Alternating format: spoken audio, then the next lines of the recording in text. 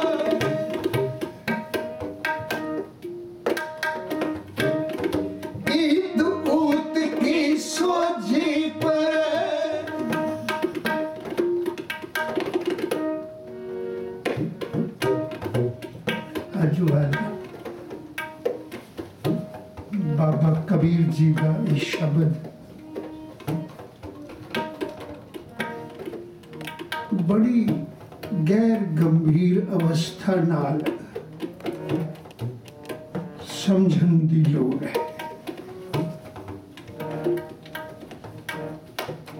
ਜੇ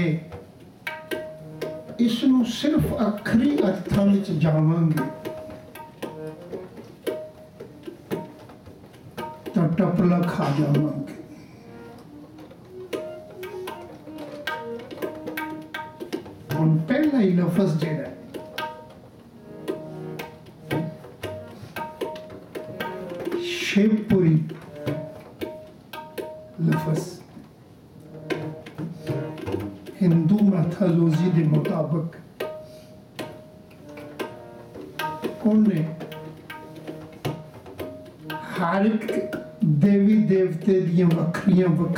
ਵੱਖਰੀਆਂ ਪੁਰੀਆਂ ਬਣਾ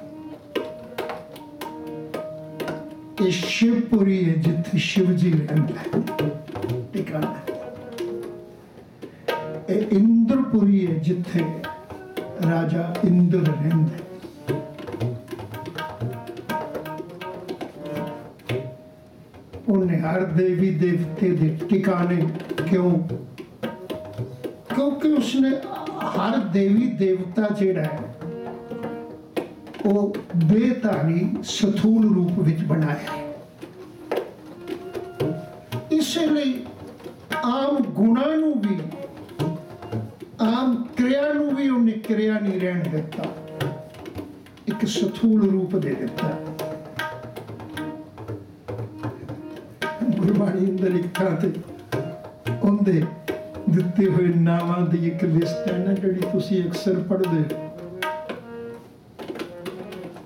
ਅਨ ਦੇਵਤਾ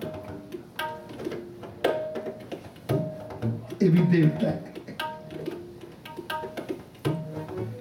ਤੁਸੀਂ ਆਖੋਗੇ ਖੋਰੇ ਗੁਰੂ ਵੀ ਉਹਨੂੰ ਮਾਨਤਾ ਦੇ ਰਿਹਾ, ਬਿਲਕੁਲ ਨਹੀਂ।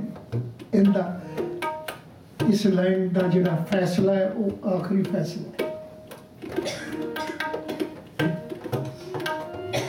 ਕਹਿੰਦਾ ਅਨ ਦੇਵਤਾ ਪਾਣੀ ਦੇਵਤਾ ਪਾਣੀਆਂ ਦੀ ਵੀ ਪੂਜਾ ਹੁੰਦੀ ਹੈ। ਬਸੰਤਰ ਦੇਵਤਾ ਅੱਗ ਨੂੰ ਵੀ ਦੇਵਤਾ ਆਖੇ ਆਖ ਦਿੱਤਾ ਗਿਆ ਈਵਨ ਲੂਣ ਵੀ ਦੇਵਤਾ ਹੈ।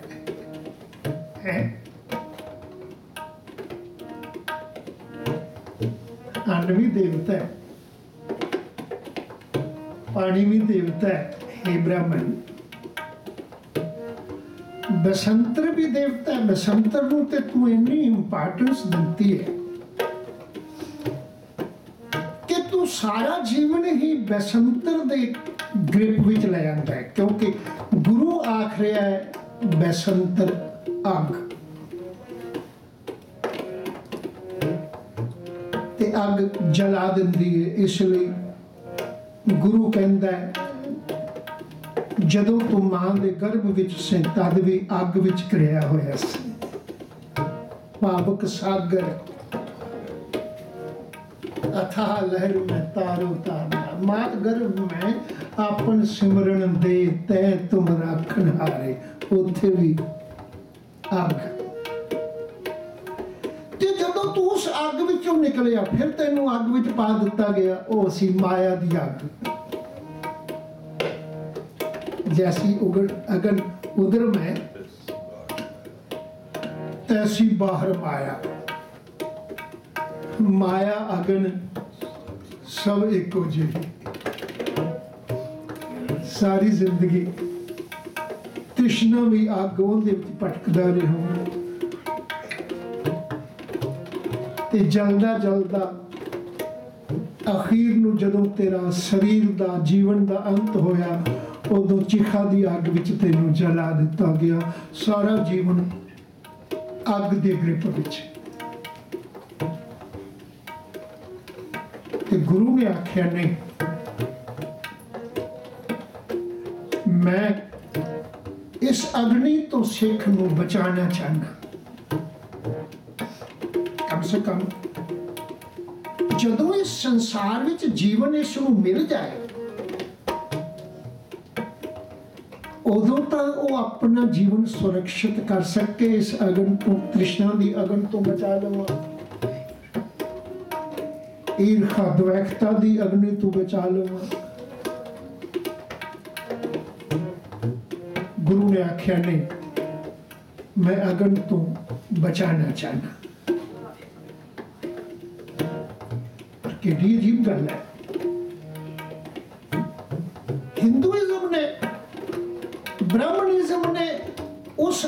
ਨੂੰ ਦੇਵਤਾ ਇਸ ਤਰ੍ਹਾਂ ਦਾ ਬਣਾ ਲਿਆ ਵੀ ਸਭ ਤੋਂ ਸ੍ਰੇਸ਼ਟ ਦੇਵਤਾ ਹੈ। ਮੇਰੇ ਜੀਵਨ ਦਾ ਕੋਈ ਕਰਮ ਧਰਮ ਵੀ ਐਸਾ ਨਹੀਂ ਜਿੰਦੇ ਵਿੱਚ ਇਹ ਦੇਵਤਾ ਨਾ ਮੌਜੂਦ ਹੋਵੇ।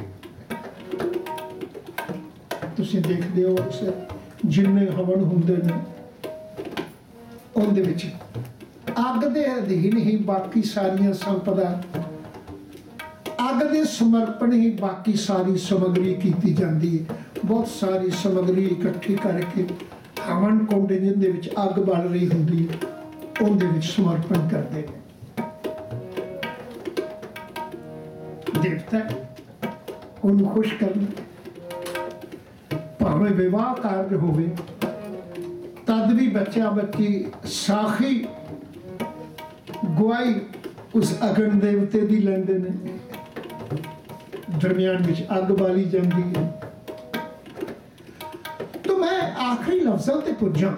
ਉਹਨੇ ਹਰ ਇੱਕ ਚੀਜ਼ ਨੂੰ ਦੇਵਤੇ ਦਾ ਨਾਮ ਦਿੱਤਾ। ਹੁਣ ਜਦੋਂ ਉਸ ਨੂੰ ਦੇਹ ਦਾ ਸਥੂਲ ਨਾਮ ਦੇ ਦੇਣਾ ਤੇ ਫਿਰ ਕੁਦਰਤੀ ਗੱਲ ਹੈ, ਉਹਦੇ ਰਹਿਣ ਲਈ ਵੀ ਕੋਈ ਟਿਕਾਣਾ ਚਾਹੀਦਾ ਹਾਲਾਂਕਿ ਉਹਨੇ ਗੁਰੂ ਸਾਹਿਬ ਨੇ ਜਿਹੜਾ ਫੈਸਲਾ ਕੀਤਾ, ਉਹ ਬੜੇ ਦੁ- ਦੁਆਰਫੀ ਫੈਸਲਾ ਦੇ ਦਿੱਤਾ। ਕਹਿਣ ਲੱਗੇ ਅਨ ਦੇਵਤਾ, ਪਾਣੀ ਦੇਵਤਾ, ਬਸੰਤਰ ਦੇਵਤਾ, ਲੂਣ, ਪੰਜਵਾਂ ਪਾਇਆ ਘਿਰਤ, ਤਾਂ ਹੋਆ ਪਾਕ ਪਵਿੱਤ। ਪਰ ਕਹਿਣ ਲੱਗੇ, ਐਨੇ ਦੇਵਤੇ ਇਕੱਠੇ ਕਰਕੇ ਪਾਪੀ ਸਿਉ ਤਨ ਗੱਡਿਆ, ਥੁੱਕਾ ਪਈਆਂ ਤੇ ਹੈ? ਐਨੇ ਦੇਵਤੇ ਇਕੱਠੇ ਕਰਕੇ ਐਸੇ ਟਿਕਾਣੇ ਤੇ ਉਹਨਾਂ ਦੀ ਪੂਰੀ ਇਹੋ ਜੀ ਬਣਾ ਦਿੱਤੀ ਸਰੀਰ, ਜਿਹੜਾ ਜਿੱਥੇ ਜਾ ਕੇ ਵਿਸ਼ਤਾ ਬਣ ਗਿਆ। ਲੋਕ ਥੁੱਕਾਂ ਸੁੱਟਣ ਲੱਗ ਪਏ। ਹੈ? ਗੁਰੂ ਦਾ ਫੈਸਲਾ। ਕੋਥੀ ਜਾਈ ਸੁੱਟਿਆ। ਕਿਸੇ ਲੱਗਾ ਦੁੱਖ। ਪਹਿਲਾ ਸੁੱਚਾ ਹੋਏ ਸੁੱਚੇ ਬੈਠਾ ਹੈ, ਸੁੱਚੇ ਅੱਗੇ ਰੱਖੀ। ਕੋਈ ਨਾ ਬਿਟਿਓ ਗਿਆ ਸੁੱਚਾ ਹੋਏ ਕਿ ਜੇਵੇ ਲੱਗਾ ਪੜਨ ਸਲੋਕ। ਕੋਥੀ ਜਾਈ ਸੁੱਟਿਆ, ਕਿਸੇ ਲੱਗਾ ਦੁੱਖ।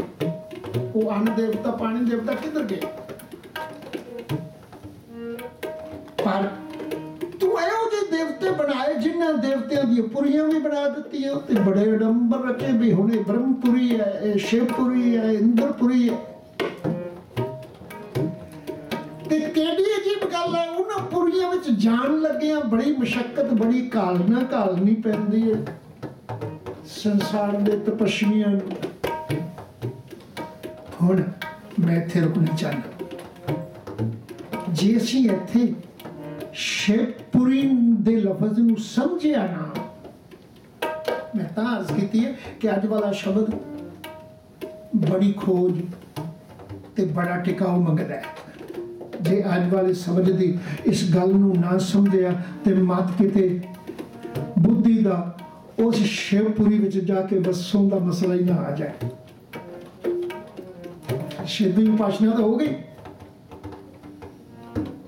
ਲਫ਼ਜ਼ ਨੇ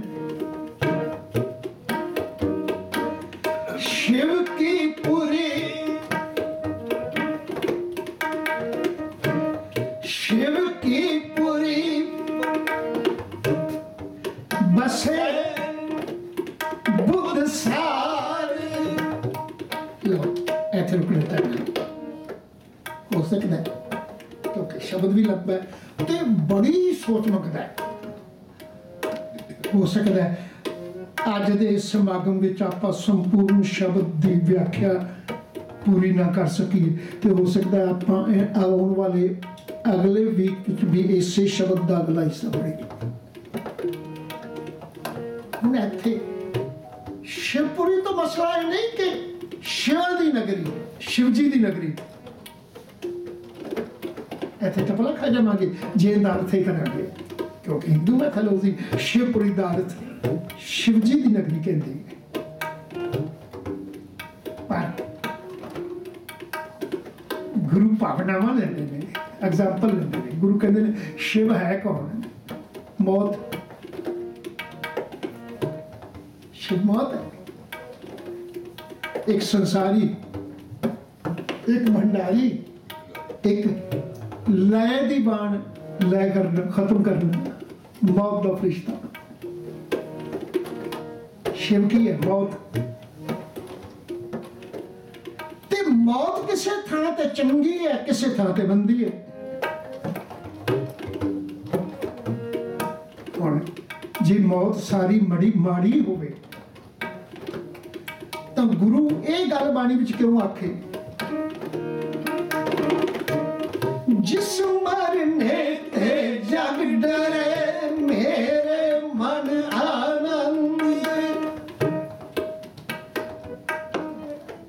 ਇੱਥੇ ਕਹਿੰਦੇ ਨੇ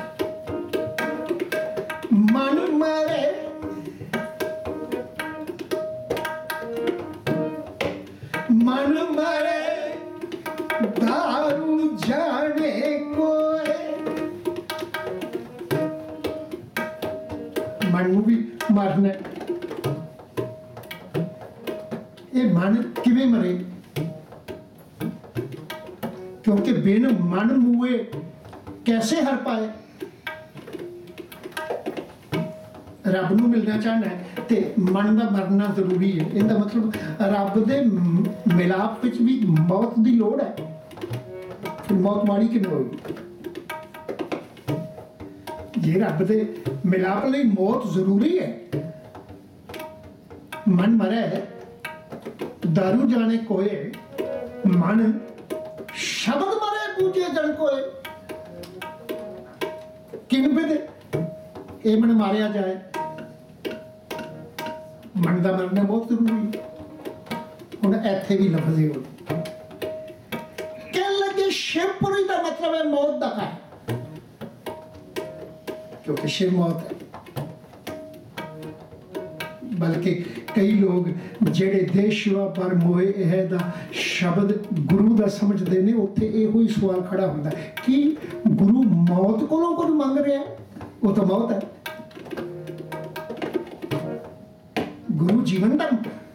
ਮੰਗਤਾ ਬਣਦਾ ਹੈ। ਗੁਰੂ ਤੇ ਬਾਰ-ਬਾਰ ਕਹਿ ਰਿਹਾ, ਮੇਰਾ ਰੱਬ ਜਿਹੜਾ ਉਹ ਜੀਵਨ ਹੈ, ਜੀਵਨੋਂ ਮੈਂ ਜੀਵਨ ਪਾਇਆ। ਉਹਦੇ ਘਰ ਮੌਤ ਹੈ ਹੀ ਨਹੀਂ। ਤੇ ਜਿੰਦੇ ਘਰ ਵਿੱਚ ਸ਼ਿਵ ਰੂਪੀ ਮੌਤ ਵੜ ਨਹੀਂ ਸਕਦੀ, ਕਿ ਗੁਰੂ ਗੋਬਿੰਦ ਸਿੰਘ ਸਾਹਿਬ ਉਸ ਸ਼ਿਵ ਕੋਲੋਂ ਕੁਝ ਮੰਗ ਰਹੇ ਨੇ? ਉਹਦੀ ਉਪਾਸਨਾ ਹੋ ਰਹੀ ਬਿਲਕੁਲ ਨਹੀਂ। ਕਿਉਂਕਿ ਮੌਤ ਦਾ ਤਾਂ ਅਰਥ ਹੀ ਸ਼ਿਵ ਹੈ, ਸ਼ਿਵ ਦਾ ਅਰਥ ਹੀ ਮੌਤ ਹੈ। ਹੁਣ ਸਵਾਲ ਇਹ ਹੈ ਕਿ ਮੌਤ ਕਿੱਥੇ ਲੋੜ ਹੈ? ਹੁਣ ਆਪਾਂ ਇਸ ਲਾਈਨ ਨੂੰ ਫਿਰ ਦੁਬਾਰਾ ਪੜ੍ਹੀਏ, ਕਹਿਣ ਲੱਗੇ। ਸ਼ਿਵ ਕੀ ਪੁਰੀ ਬਸੈ, ਬੁੱਧ ਸਾਰ। ਸਾਰ ਕਹਿੰਦੇ ਨੇ ਸ੍ਰੇਸ਼ਟ ਮੇਰੀ ਗੱਲ ਦਾ ਇਹ ਸਾਰ ਤੱਕ ਹੈ ਸ੍ਰੇਸ਼ਟ ਫੈਸਲਾ ਹੈ। ਲੱਗੇ ਜਿਹੜੀ ਸ੍ਰੇਸ਼ਟ ਬੁੱਧੀ ਹੈ ਨਾ, ਉਹ ਸ਼ਿਵਪੁਰੀ ਵਿੱਚ ਰਹਿੰਦੀ ਹੈ। ਲੋ ਇੱਥੇ ਰੁਕਣਾ ਜਿੰਨੀ ਦੇਰ ਅੰਦਰ ਕਿਉਂਕਿ ਬੁੱਧੀ ਜਿਹੜੀ ਹੈ, ਉਹ ਹਉ ਦਾ ਟਿਕਾਣਾ ਹੈ। ਜਿੰਨੀ ਦੇਰ ਮਨੁੱਖ ਆਪਣੀ ਬੁੱਧੀ ਤੇ ਆਪਣੀ ਮਤ ਤੇ ਮਾਣ ਰੱਖਦਾ ਹੈ, ਆਪਣੀ ਮਤ ਦਾ ਮਸਲਾ ਹੀ ਇਹ ਹੁੰਦਾ ਕਿ ਮੈਂ ਬੜਾ ਸਿਆਣਾ ਤੇ ਜਿਸ ਦਿਨ ਆਪਣੀ ਮਤ ਮਰ ਜਾਏ, ਉਸ ਦਿਨ ਕਹਿੰਦਾ ਮੇਰੀ ਸਿਆਣਪ ਨਹੀਂ ਗਈ ਪਿਛਲੇ ਦਿਨਾਂ ਵਿੱਚ ਬਾਬਾ ਕਬੀਰ ਜੀ ਦਾ ਇੱਕ ਸ਼ਬਦ ਆਇਆ ਸੀ। ਮੈਂ ਉਹਦੀ ਐਗਜ਼ਾਮਪਲ ਦੁਬਾਰਾ ਦੇਣਾ ਚਾਹੁੰਦਾ ਜਿੰਦੇ ਵਿੱਚ ਬਾਬਾ ਕਬੀਰ ਨੇ ਆਪਣੀ ਬੁੱਧੀ ਨੂੰ, ਮਨ ਨੂੰ ਮੁਖਾਤਬ ਕਰਕੇ ਇੱਕ ਲਫ਼ਜ਼ ਬੁੱਧੀ ਬਾਰੇ ਕਿਹਾ ਸੀ। ਭਲੀ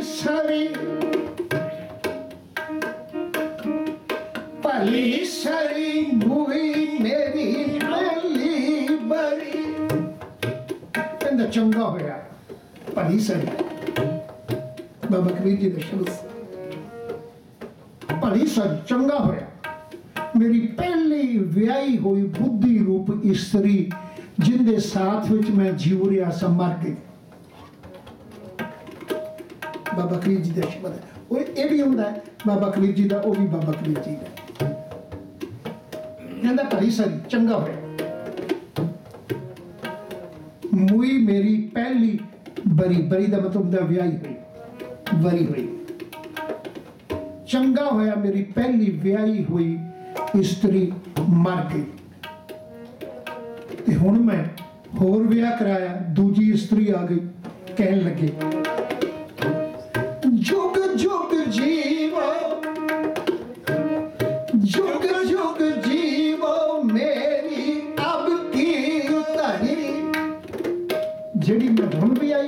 ਇਸਤਰੀ ਇਹ ਜੁਗਾ ਜੁਗਾਂਤਰਾਂ ਤੱਕ ਜਿਉਂਦੀ ਰਹੇ।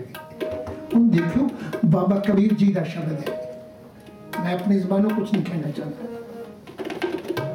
ਕਿਉਂਕਿ ਇੱਥੇ ਗੱਲ ਉਹ ਬੁੱਧੀ ਦੀ ਕਰ ਰਹੇ ਨੇ। ਚੰਗਾ ਹੋਇਆ ਮੇਰੀ ਪਹਿਲੀ ਮੱਤ ਮਰ ਗਈ। ਜਿਹੜੀ ਹਾਂ ਸੀ, ਜਿਹੜੀ ਮੈਨੂੰ ਰੱਬ ਨਾਲ ਮਿਲਣ ਨਹੀਂ ਸੀ ਦਿੰਦੀ। ਗੁਰਬਾਣੀ ਅੰਦਰ ਇੱਕ ਥਾਂ ਨੇ ਬੜੀ ਥਾਂ ਸਪਸ਼ਟ ਕੀਤਾ ਗਿਆ ਕਹਿਣ ਲੱਗੇ।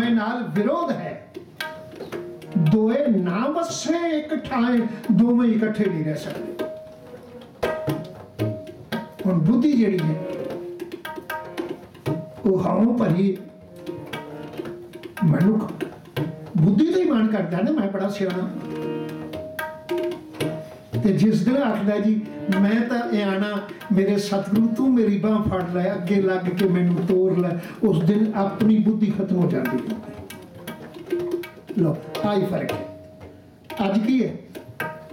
ਸਿੱਖ ਆਪਣੀ ਬੁੱਧੀ ਨਾਲ ਫੈਸਲੇ ਕਰ ਰਿਹਾ ਹੈ।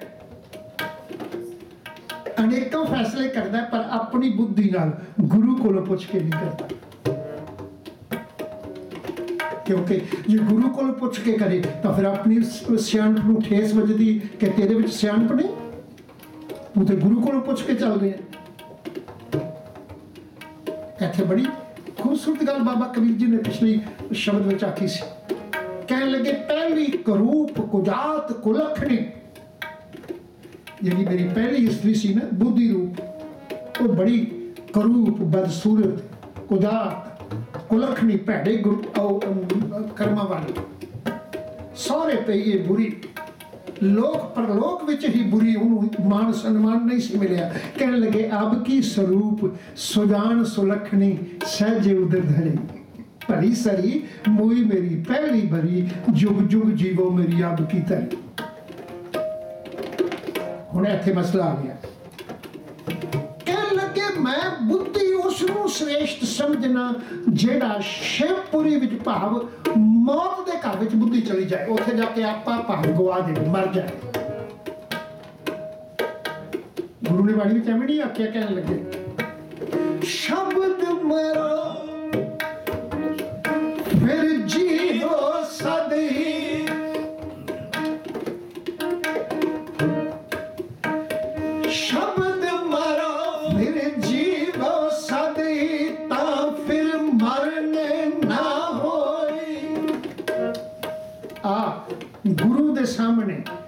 ਸ਼ਬਦ ਦੇ ਸਾਹਮਣੇ ਮਰ ਜਾ। ਤੇ ਮਰਨ ਦੀ ਕੀ ਨਿਸ਼ਾਨੀ ਹੁੰਦੀ ਹੈ? ਉੱਥੇ ਸਭ ਕੁਝ ਖਤਮ ਹੋ ਜਾਂਦਾ ਹੈ। ਜਿਸ ਵੇਲੇ ਮਨੁੱਖ ਮਰਦਾ ਹੈ, ਉਸ ਦਿਨ ਕੀ ਹੁੰਦਾ ਹੈ? ਪਰਿਵਾਰ ਵੀ ਕੋਈ ਨਹੀਂ। ਹੁਣ ਕੀ ਪਰ- ਪਰਿਵਾਰ ਨਾਲ ਹੁੰਦਾ ਕਾਹਦਾ ਰਿਸ਼ਤਾ ਰਿਹਾ? ਸੰਸਾਰ ਨਾਲ ਹੁੰਦਾ ਕਾਹਦਾ ਰਿਸ਼ਤਾ ਰਿਹਾ? ਕਾਰੋਬਾਰ ਨਾਲ ਹੁੰਦਾ ਕਾਹਦਾ ਰਿਸ਼ਤਾ? ਸਭ ਕੁਝ ਸੀ ਉਹਦੇ ਕੋਲ, ਪਰ ਮਰਨ ਦੀ ਦੇਰ ਸੀ, ਸਾਰੇ ਰਿਸ਼ਤੇ ਖਤਮ ਹੋ ਗਏ। ਕਾਰੋਬਾਰ ਨਾਲ ਵੀ ਕੋਈ ਬੈਂਕ ਬੈਲੈਂਸ ਨਾਲ ਕੋਈ ਰਿਸ਼ਤਾ ਨਹੀਂ, ਖਾਣ ਪੀਣ ਨਾਲ ਕੋਈ ਰਿਸ਼ਤਾ ਨਹੀਂ ਪਹਿਨਣ ਨਾਲ ਕੋਈ ਰਿਸ਼ਤਾ ਨਹੀਂ ਭਾਵੇਂ ਉਹ ਉੱਪਰ ਓੜਿਆ ਹੋਇਆ ਤਣ ਤੇ ਕਫਨ ਵੀ ਕੋਈ ਲਾ ਕੇ ਲੈ ਜਾਏ, ਉਹਨੂੰ ਕੀ ਫ਼ਰਕ ਪੈਂਦਾ? ਮਰ ਚੁੱਕਾ ਹੈ। ਤੇ ਗੁਰੂ ਨੇ ਬਾਣੀ ਵਿੱਚ ਐਸੀ ਅਵਸਥਾ ਦਾ ਨਾਮ ਇਹ ਲਫ਼ਜ਼ ਕਹਿ ਕੇ ਦਿੱਤਾ, ਗੁਰੂ ਤੇਗ ਬਹਾਦਰ ਪਾਤਸ਼ਾਹ ਜੀ ਦਾ। ਆਸਾ ਮਨਸਾ ਸਗਲ ਜਦੋਂ ਮਰਦੀ ਹੈ ਮਨ ਜਦੋਂ ਮਰਦਾ ਹੈ ਉਦੋਂ ਉਹਦੀ ਹਾਲਤ ਇਹ ਹੋ ਜਾਂਦੀ ਹੈ ਆਸਾ ਮਨਸਾ ਸਗਲ ਤੇ ਆਗੇ, ਜਗ ਤੇ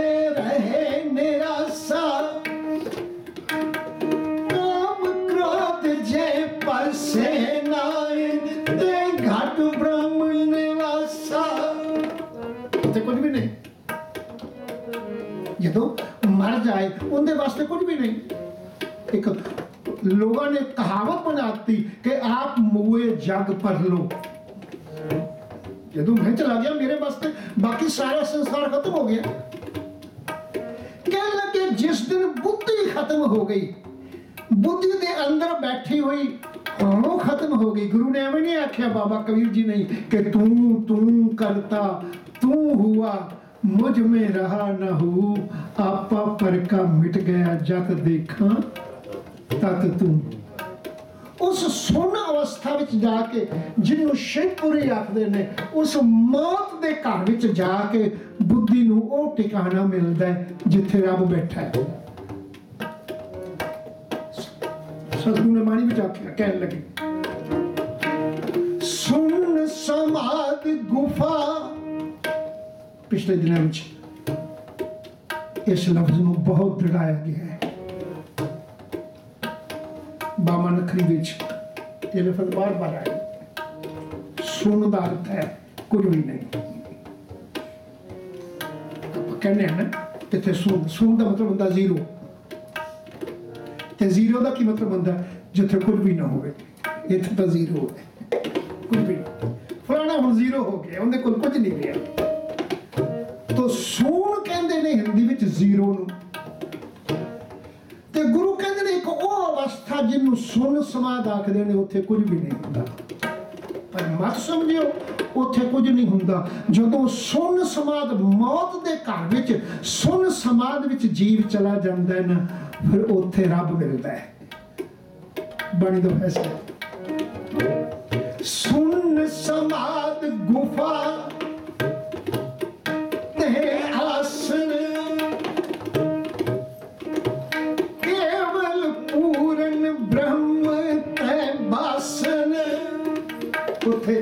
ਰੱਬ ਆਪ ਪੂਰਨ ਬ੍ਰਹਮ ਵਸਦਾ ਹੈ। ਤੇ ਫਿਰ ਇਕੱਲਾ ਨਹੀਂ ਵਸਦਾ, ਉਹ ਜੀਵ ਨਾਲ ਸਿੱਧੀਆਂ ਗੱਲਾਂ ਬਾਤਾਂ ਸ਼ੁਰੂ ਕਰ ਦਿੰਦਾ ਹੈ, ਜਿਹੜਾ ਉੱਥੇ ਪਹੁੰਚ ਜਾਂਦਾ ਹੈ। ਭਗਤ ਸੰਗ ਪ੍ਰਭ ਗੋਸਟ ਕਰਤੇ। ਭਗਤ ਸੰਗ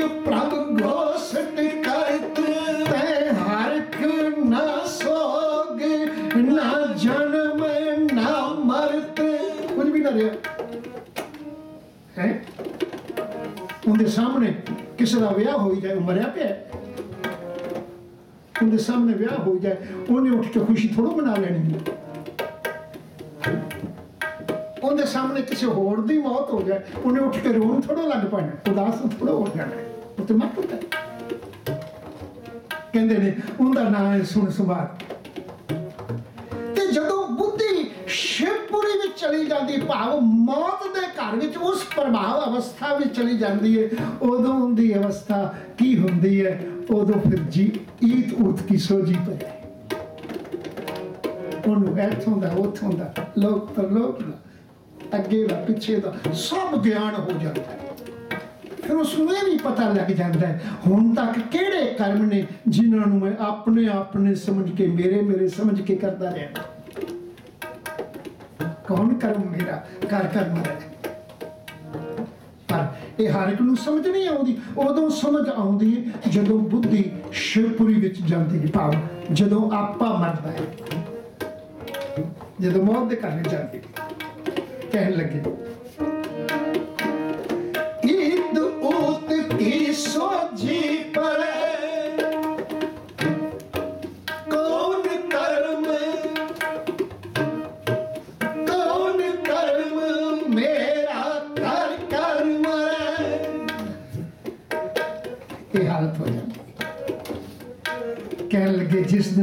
ਸੋਝੀ ਆ ਜਾਏ ਨਾ ਕਿ जिस दिन बुद्धि दी हो खत्म हो जाए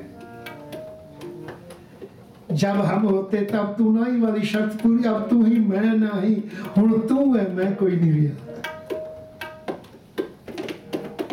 मैं तेरे तो वखरे नहीं रहा ਹੁਣ ਮੈਂ ਐਸੇ ਟਿਕਾਣੇ ਐਸੇ ਆਸਨ ਤੇ ਪੁੱਜ ਗਿਆ ਤੇ ਪੁੱਜਿਆ ਤਾਂ ਪਹਿਲਾਂ ਆਪ ਮਰਿਆ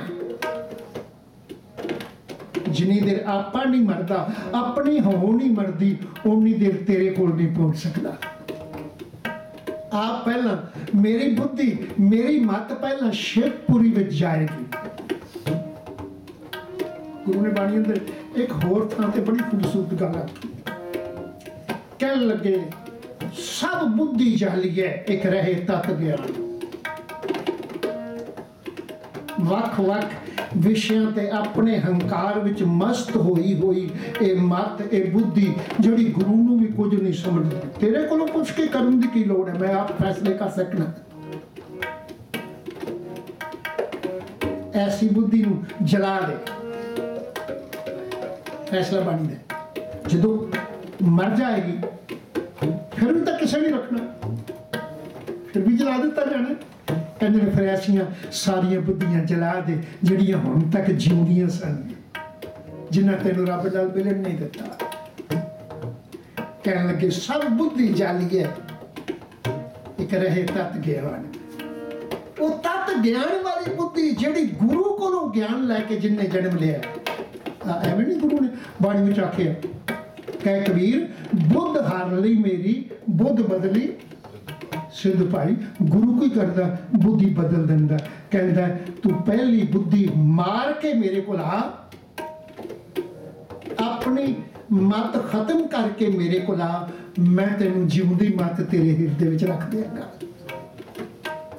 ਤੇ ਜਿਸ ਦਿਨ ਉਹ ਆਪਣੀ ਮਤ, ਗੁਰੂ ਆਪਣੀ ਮਤ ਤੇਰੇ ਅੰਦਰ ਰੱਖੇਗਾ, ਵਿਸ਼ਵਾਸ ਕਰ, ਤੈਨੂੰ ਈਤ ਊਤ ਕੀ ਸੋਝੀ ਤੈਨੂੰ ਲੋਕ ਪਰਲੋਕ ਦਾ ਸਾਰਾ ਗਿਆਨ ਹੋ ਜਾਏਗਾ। ਤੇਰਾ ਫਿਰ ਉਦੋਂ ਨਿਜ ਪਤੂ ਪਦ ਉੱਪਰ ਲਾਗੂ ਧਿਆਨ। ਤੂੰ ਆਪਣੇ ਨਿਜ ਭਗ ਦੇ ਅੰਦਰ ਦੀ ਝਾਤੀ ਮਾਰ ਕੇ ਤੇਰਾ ਧਿਆਨ ਅੰਦਰ ਜੁੜ ਜਾਏਗਾ। ਫਿਰ ਤੂੰ ਸੰਸਾਰ ਵੱਲ ਨਹੀਂ ਤੱਕੇਗਾ ਤੇ ਤੈਨੂੰ ਪਤਾ ਲੱਗ ਜਾਏਗਾ, ਰਾਜਾ ਰਾਮ ਨਾਮ ਮੇਰਾ ਬ੍ਰਹਮ ਗਿਆਨ। ਬਸ ਇੱਕ ਸਾਰੀ ਸ੍ਰਿਸ਼ਟੀ ਦੇ ਬਾਦਸ਼ਾਹ, ਸ੍ਰਿਸ਼ਟੀ ਦਾ ਜਿਹੜਾ ਰਾਜਾ ਹੈ, ਉਸ ਰਾਮ ਨਾਮ ਹੀ ਦਾ ਸਿਮਰਨ ਹੀ ਮੇਰਾ ਬ੍ਰਹਮ ਗਿਆਨ ਹੈ। ਮੈਨੂੰ ਹੋਰ ਕਿਸੇ ਗਿਆਨ ਦੀ, ਮੈਨੂੰ ਕਿਸੇ ਹੋਰ ਬ੍ਰਹਮ ਦੀ, ਮੈਨੂੰ ਕਿਸੇ ਹੋਰ ਅਕਾਲ ਪੁਰਖ ਦੀ, ਕਿਸੇ ਦੇਵੀ ਦੇਵਤੇ ਦੀ ਲੋੜ ਨਹੀਂ। ਪਰ ਕਹਿਣ ਲੱਗੇ, ਇਹ ਉਦੋਂ ਹੋਵੇਗਾ ਜਦੋਂ ਇਹ ਬੁੱਧੀ ਸ਼੍ਰੇਸ਼ਟ ਹੋਵੇਗੀ ਤੇ ਸ਼੍ਰੇਸ਼ਟ ਹੋਣ ਦੀ ਨਿਸ਼ਾਨੀ ਹੋਵੇਗੀ ਕਿ ਉਹ ਸ਼ਿਵਪੁਰੀ ਵਿੱਚ ਜਾ ਬਸੇ ਆਪਣਾ ਆਪ ਖਤਮ ਕਰ ਦੇਵੇ, ਕਹਿਣ ਲੱਗੇ। ਸ਼ਿਵ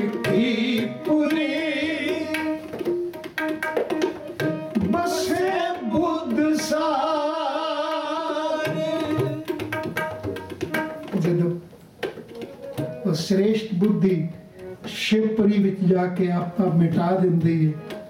ਤੇ ਤੁਮ ਮਿਲ ਕੇ ਕਰੋ ਵਿਚਾਰ। ਉਸ ਬੁੱਧੀ ਨਾਲ ਤੂੰ ਵਿਚਾਰ ਕਰ। ਕਿਉਂਕਿ ਹਉ ਭਰੀ ਬੁੱਧੀ ਨਾਲ ਵਿਚਾਰ ਕਰੇਗਾ, ਇਹਦੇ ਨਾਲ ਗਿਆਨ ਨਹੀਂ ਮਿਲਦਾ। ਅਗਿਆਨਤਾ ਹੋਵੇਗੀ ਕਹਿ।